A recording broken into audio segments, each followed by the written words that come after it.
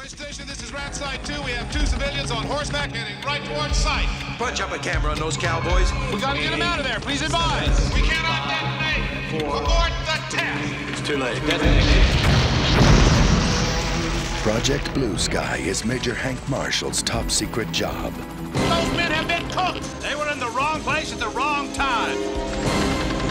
But there are some secrets Sir, isn't that your... Yeah, beautiful, isn't she? He can't keep quiet.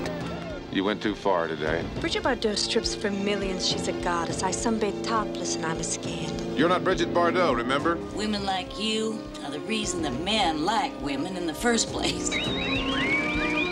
Academy Award winner Jessica Lange. What are you gonna do about your wife? Is the colonel concerned about my wife, sir? She's a disgrace to the Army and she's endangering your job. I made a decision a long time ago just to love her. She's like water. Sometimes it's steam, sometimes it's ice. It's always the same old H2O, it only changes its properties. You're right, Dad. They're perfect for each other. Academy Award winner Tommy Lee Jones. I need to talk to you. This is a personal matter. Don't you think we ought to discuss It's not personal, it has to do with blue sky. We're a team here. We have to present one consistent point of view. It's a crime, and I am going to forget precisely nothing.